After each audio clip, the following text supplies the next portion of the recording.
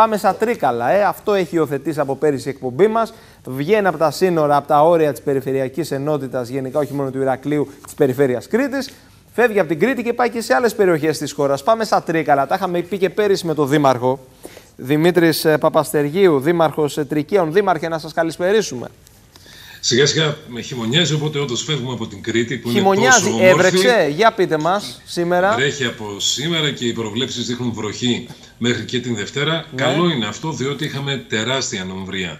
Το τελευταίο διάστημα ο Ποινιό, ένα από τα μεγαλύτερα ποτάμια της χώρας, σε αρκετά του σημεία και για πολλά χιλιόμετρα δεν έχει σταγόνα. Έχει στερέψει. Ω ευλογία θεωρούμε τη βροχή και ελπίζουμε να βρέξει για αρκετά ακόμα. Μάλιστα, οπότε το καλοκαίρι τέλος εκεί για την περιοχή σας. Και λέω πως τα ωραία τώρα ξεκινάνε για τις περιοχές μας, διότι να. το καλοκαίρι δεν είναι ιδιαίτερα ωραία.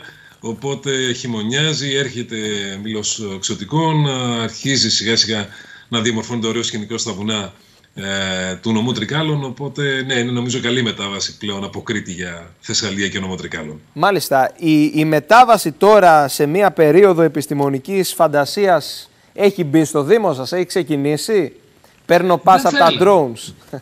Ναι, δεν θα έλεγα πως είναι ε, μετάβαση σε τέτοια εποχή. Ίσα ίσα αυτό το οποίο έλεγα τις προάλλες ε, όταν παρουσιάσαμε το συγκεκριμένο πρόγραμμα, το Harmony, ένα πρόγραμμα το οποίο χρηματοδοτείται από τους ορίζοντες 2020, το πρόγραμμα του Horizon, είναι πως δεν πρέπει να το λογίσουμε ως τέτοιο γιατί δεν είναι ε, απλά ε, τίποτα παραπάνω από στιγμές του μέλλοντός μας και μάλιστα ενός μέλλοντος που δεν είναι και τόσο μακρινό. Μην θεωρείτε δηλαδή επιστημονική φαντασία το ότι οι drones θα μεταφέρουν όχι μόνο για έκτακτες ανάγκες, που είναι αυτό το οποίο δοκιμάζαμε εμείς στις προάλλες, αλλά και σκηνές από την καθημερινότητά μας το να μεταφέρουν drones διάφορα υλικά.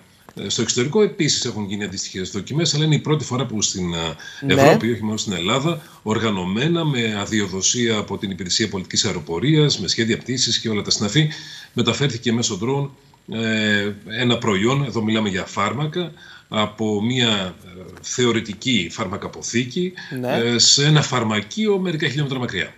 Μάλιστα. Οπότε ο προορισμός θα είναι, θα δούμε αν τρέξει ο σχεδιασμός, ευελπιστούμε να τρέξει. Ο προορισμός και οι αποδέκτες θα είναι επαγγελματίες υγείας. Πώς το σκέφτεστε; Όχι μόνο, απλά επειδή η ελληνική νομοθεσία ορθά την ώρα αυτή επιτρέπει ε, την διανομή φαρμάκων μόνο από επαγγελματίες υγείας, μόνο από φαρμακοποιούς, εμείς κάνουμε αυτή τη δοκιμή. Θα μπορούσε όμως το συγκεκριμένο drone, το οποίο έχει κατασκευαστεί και οφείλουμε να το πούμε από μια εταιρεία που βρίσκεται στην Κρήτη, ε, θα μπορούσε στον Ιαννό, για παράδειγμα, πέρσι στην Καρδίτσα, να μεταφέρει ένα κινητό τηλέφωνο, φάρμακα, οποιοδήποτε τέτοιο αντικείμενο ε, θα ήταν απαραίτητο σε ένα αποκλεισμένο χωριό. Γιατί ακριβώς αυτές τις αποστάσεις μπορεί να τις καλύψει ε, και πραγματικά θα μπορούσε από τώρα να αποτελεί λύση για τέτοιου είδους ανάγκες. Είδατε σε όμως, αυτό. βέβαια, υ- υπήρξε συνεργασία φορέων. Ξέρετε, έχουμε και την ελληνική γραφειοκρατία σε αυτές τις περιπτώσεις που την προσπεράσαμε στην περίπτωση του, του drones εκεί της, ε, της περιοχής σας, σωστά;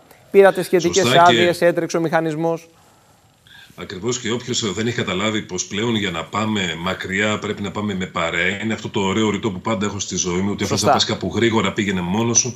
Αν θες να πας μακριά πήγαινε με παρέα. Αυτό ακριβώς κάνουμε.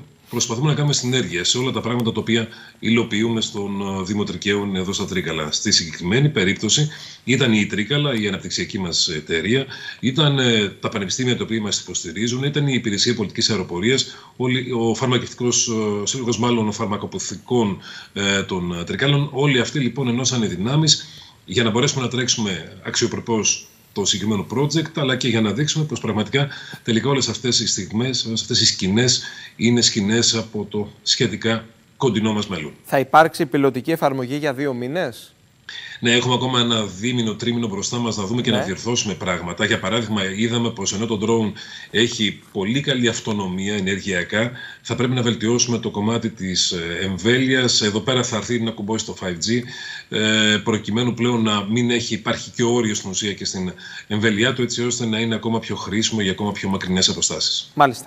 Δήμαρχε, να σας ευχαριστήσουμε πολύ. Ευχαριστώ και εγώ πάρα πολύ. Να είστε καλά. Σας ευχαριστούμε πολύ. Να